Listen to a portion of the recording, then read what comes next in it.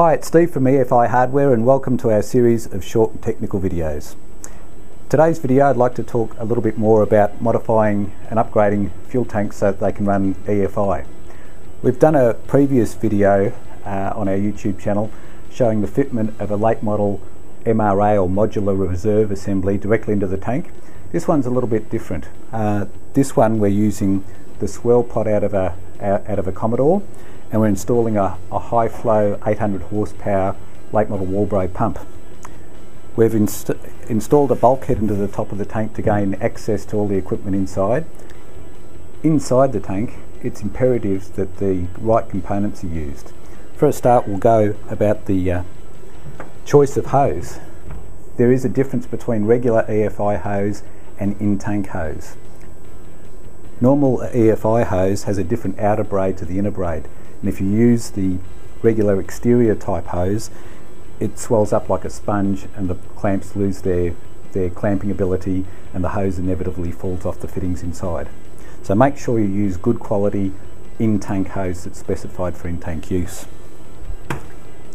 Another important one is the choice of wire that you use. In this particular case we're using Tefzel wire, also Raychem make a good quality mil-spec wire that is not deteriorated in fuel at all. If you use the wrong type PVC coated wire, it becomes brittle, and cracks and you can often get shorting occur. So the choice of wire is extremely important. Also the type of heat shrink if you're using heat shrink has to be DR25 or similar rated to survive in a fuel tank. So here we've got uh, the um, AN fittings uh, welded to the tank and on the other side we've got screw-in hose fittings so that we can attach the hose. Uh, and here we've got our bulkhead fittings labelled positive and negative. And that allows us to provide uh, some good voltage and current uh, to the inside EFI pump. In this case it's a, a high pressure 245 litre an hour Walbro.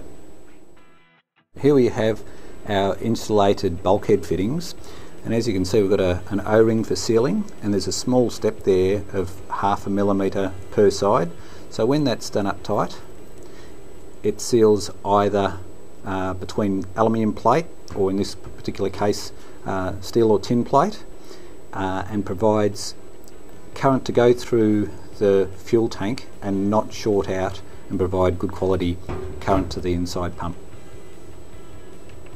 So we're almost ready for the final bolt up. We've got our bracket that's going to secure the pump uh, in location into the open swell pot inside.